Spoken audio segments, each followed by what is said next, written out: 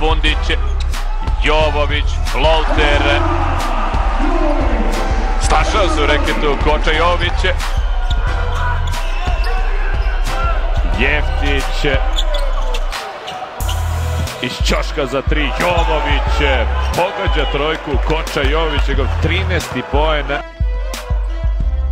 Jovović, sjajan dribling Koče Jovovića. Iskoristio je i dobru blokadu. Koča Jovović, menja pravac, sjajna finta. I uspio da pogodi Koča Jovović. U liniju Miščević. Požurio je malo Jovović, njegov šut za tri pojena, pogađaj Koča Jovović. Ovo je nevjerovatno, zaista šta se dešava u vrstu izvan red. Partija vršca pre svega 14 trojki iz 20